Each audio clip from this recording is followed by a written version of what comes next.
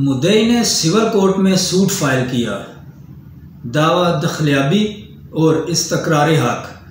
जेर दफ़ा आठ और बयालीस।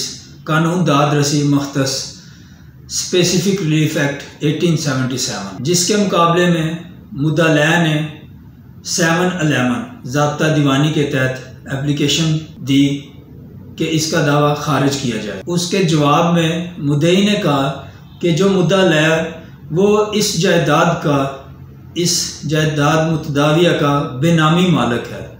हालाँकि मुदई ने बेनामी मालक के बारे में जो पहले दावा फ़ाइल किया, उसमें किसी किस्म का कोई ज़िक्र ना किया है।